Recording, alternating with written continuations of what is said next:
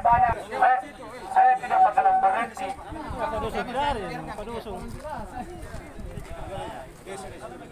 Orang cuma orasi, daw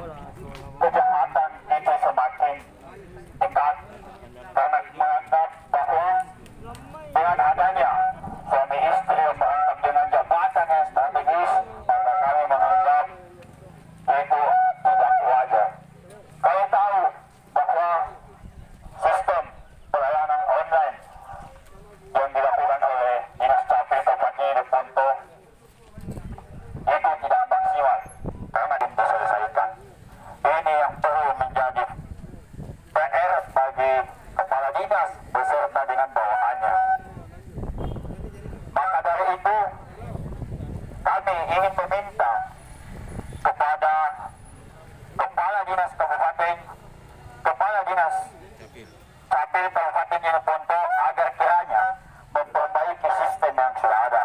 Itu yang pertama. Yang kedua, dengan statusnya, dengan status istrinya sebagai kepala bidang yang di dinas Capil, kami menganggap bahwa itu adalah salah satu nepotisme yang terjadi kawan-kawan sekalian. Karena kenapa?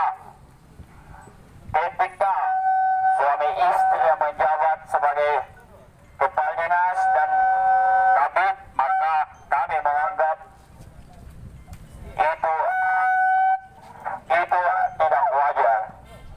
Karena kejahatan yang terjadi itu karena adanya kedekatan.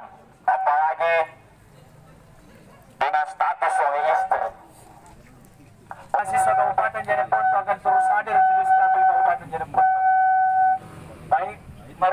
Assalamualaikum